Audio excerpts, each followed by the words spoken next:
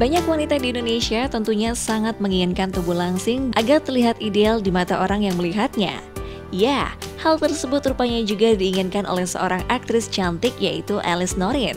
Meski kesibukannya untuk selalu syuting serial Tukang Bubur Naik Haji, Alice selalu menyempatkan dirinya untuk selalu berolahraga. Di usianya yang telah menginjak 28 tahun, Alice Norin sendiri tidak mau terlihat gembul. Lihat saja beberapa foto-foto yang diunggahnya melalui akun sosmed pribadinya. Terlihat jelas, Alice selalu membakar lemak yang ada dalam tubuhnya. Hmm, pantas aja nih Alice Nari selalu terlihat cantik dan langsing setiap harinya.